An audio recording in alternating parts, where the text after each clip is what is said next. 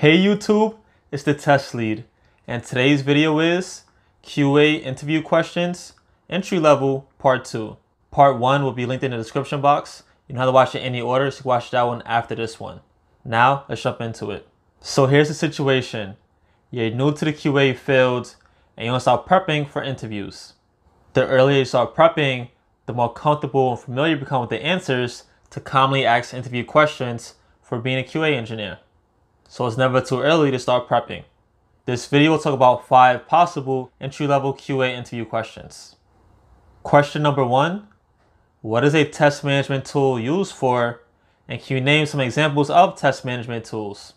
Test management tools are used to store information on how testing is to be carried out, to plan out the testing activities, and to log the status of test activities. Some examples include IBM Rational Quality Manager, Jira, Azure DevOps Server, and TestLink.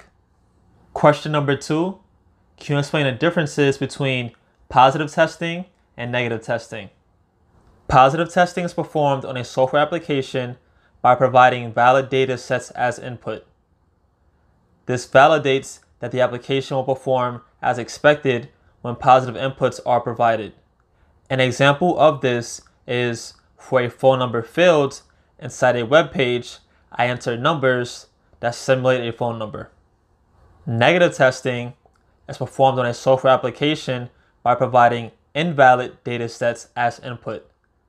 This validates that the application will perform as expected when unwanted or negative inputs are provided. An example for this can be again the phone number field. So for our positive test, we entered numbers because numbers are expected as part of a phone number. So for our negative test, we'll enter letters because here in the States, there are no letters inside of phone number fields. So that should not be accepted. The appropriate error messages or error responses should be shown. So that's part of negative testing. Next, let's get into some methodologies.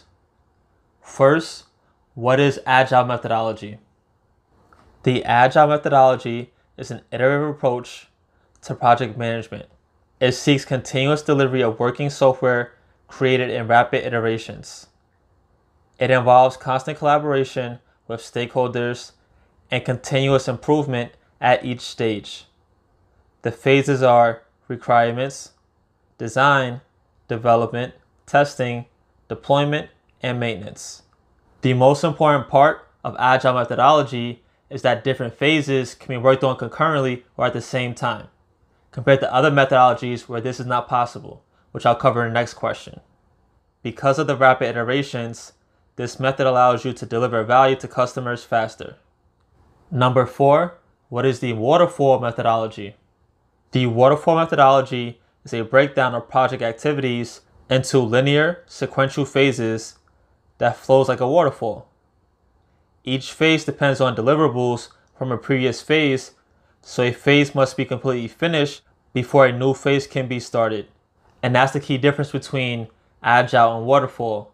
In Waterfall, a phase must be completely finished before you move on to the next phase.